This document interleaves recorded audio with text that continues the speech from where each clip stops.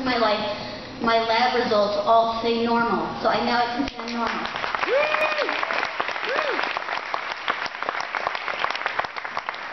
And I identify with Brad because you never know when it can happen to you. Ironically, my kidney failure happened when I was two years old from the E. coli bacteria. Hmm.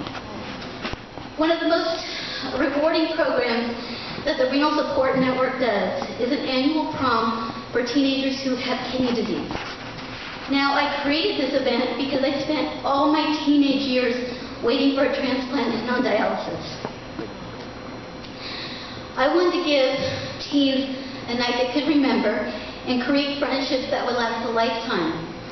Because when I was a teen, it was very difficult. You know, I was dealing with serious health issues and they were dealing with trying to get a date. So I never felt I connected and I was dealing with very, very serious health issues. So the Renal Teen Prom is a great event. It's every year. We've held it for 12 consecutive years. And we have over 120 kidney teens, and they're uh, either they're in the dialysis stage or the transplant stage that come, and they create friendships that last a lifetime. Because when you have an illness as serious as needing an organ donation or chronic kidney disease, the peer support is what helps in addition to the great medical advancements.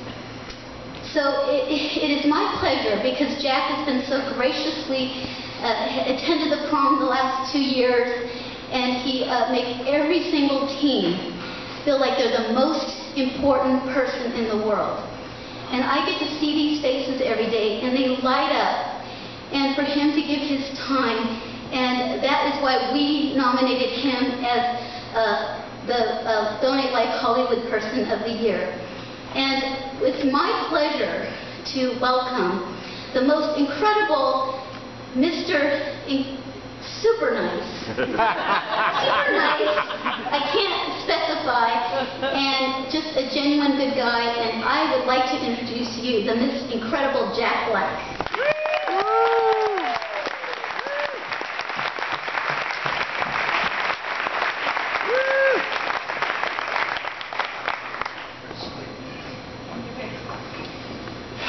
Lori Hartwell, everyone.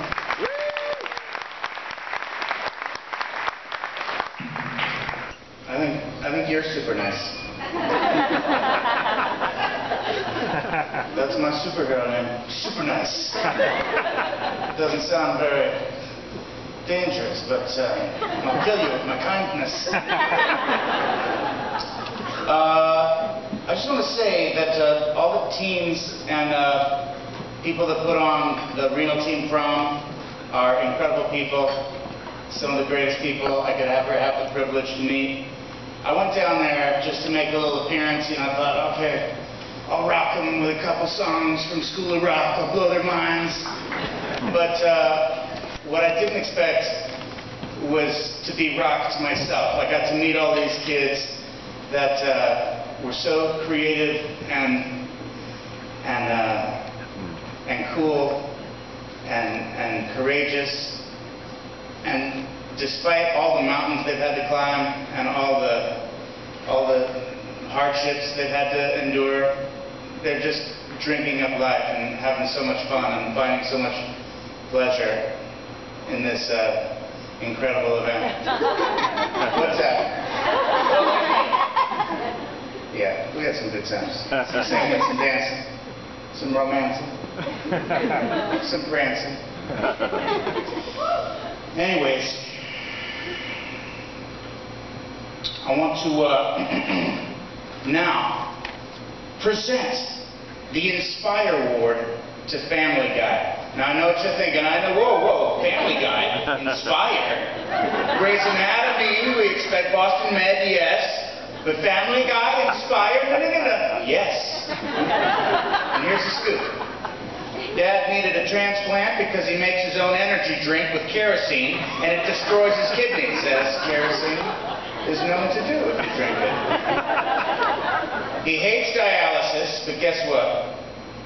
Brian offers him a kidney to save his life. Only problem with Brian is a dog. And the doctor says he has to take both of Brian's kidneys because, you know, he's a dog. If dog get kidneys, you gotta have two for one human.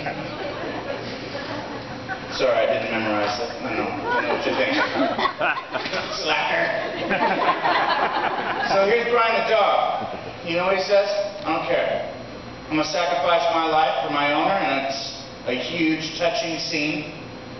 And then in comes the doctor in a hospital gown, and he says he's decided to donate his kidney to Dad because Dad is his only patient left who has ever, and who's ever heard of a kidney transplant from a dog anyway? the episode also showed the power of living donation and the hope of transplantation. And that's why Family Guy is receiving an Inspire Award. Let's see a clip.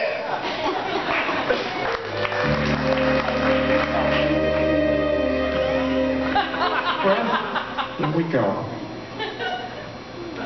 Dr. Hartman, what, what are you, you, you're not dressed for surgery. I sure am. But I, I, I don't understand. Well, you see, Mrs. Griffin, I found another donor for your husband. You did? Oh, Me. What? It turns out I'm a perfect match, and I'm willing to give up one of my kidneys. oh my God, Dr. Hartman. Y- you do that for us? Well, the truth is, you folks are my only remaining patients. I couldn't afford to lose two of you. What do you mean, two of us? Well, chances are Peter never would have survived the surgery. I mean, I mean, dog kidneys? I mean, I'm not even sure dogs have kidneys. dogs have kidneys? Yes. Yeah, this, this is the guy.